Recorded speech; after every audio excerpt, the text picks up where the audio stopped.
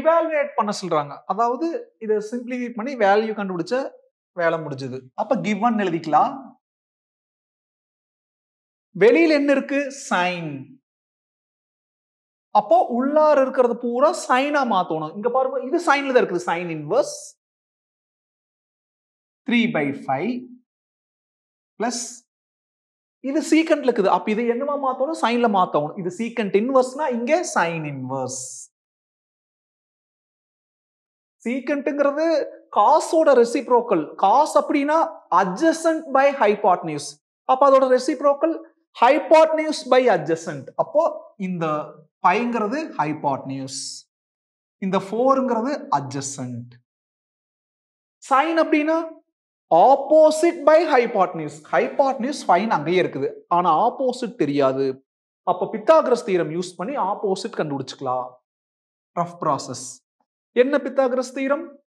Opposite square plus adjacent square is equal to hypotenuse square opposite தெரியாது அப்படியே எழுதிக்கலாம். Plus adjacent அப்படிங்கறது பாருங்க ஃபோர் அப்ப ஃபோரை ஸ்கொயர் பண்ண சிக்ஸ்டீன் ஈக்குவல் டு ஹைபாட்னியூஸ்ங்கிறது ஃபைவ் ஃபைவ் ஸ்கொயர் பண்ணா டுவெண்ட்டி ஃபைவ் அப்போ opposite square equal to plus sixteen அங்கே போனா minus sixteen twenty five minus சிக்ஸ்டீன்னா nine opposite equal to root over nine square அங்கே போகிறப்போ ஸ்கொயர் ரூட் ரூட் ஓவர் நைன்னா three சைனுக்கு என்ன formula opposite by hypotenuse opposite என்ன கண்டுபிடிச்சிக்கிறோம் த்ரீ பை ஹைபாட்னியூஸ் மேலேயே பாருங்க. ஃபைவ்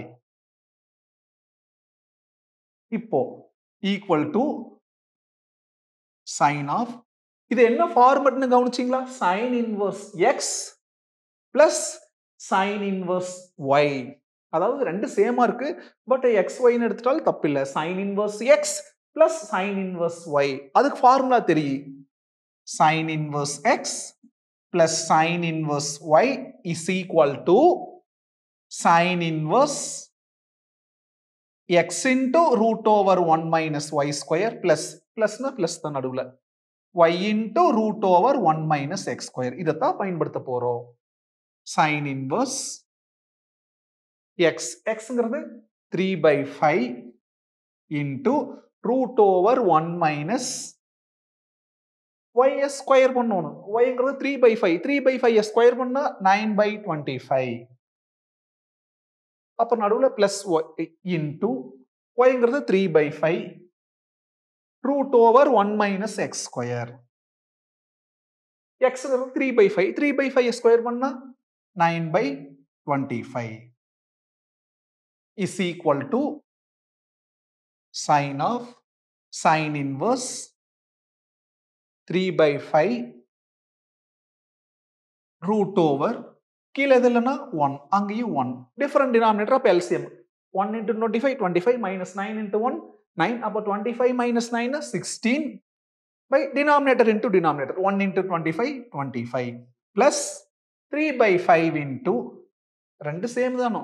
அப்போ இதோட ரிசல்ட் டுவெண்ட்டி ஃபைவ் மைனஸ் நைன்னா sixteen ரூட்டுக்குள்ள sixteen by one into twenty five twenty five is equal to sine of sine inverse three by five into ரூட்டை டிவிஷனுக்கு multiplication பிரிக்கல. இங்கே டிவிஷன் அப்போ தனித்தனியாக பிரிக்கலாம் ரூட் சிக்ஸ்டீன்னா four root twenty ஃபைவ்னா five plus three by five into root சிக்ஸ்டீன்னா four root twenty ஃபைவ்னா five is equal to sine of sine inverse three into four twelve five into five twenty five அப்போ twelve by twenty five plus twelve by twenty five இதோட closing இது இதோட closing இது. அதே மாதிரி தான் ஒவ்வொன்று bracket is equal to sine of sine inverse denominator same அப்போ ஒரு தடவை நியூமரேட்டர் ஆட் பண்ணிக்கலாம். Twelve plus twelve twenty four அப்போ twenty four by twenty five இப்போ sine of sine inverse x என்ன ஃபார்முலா வெறும் எக்ஸ் அப்போ twenty four by twenty five தான் எக்ஸ்ங்கிறது இதுதான் கிவனை சிம்பிளை பண்ணால் கிடைக்கிற வேல்யூ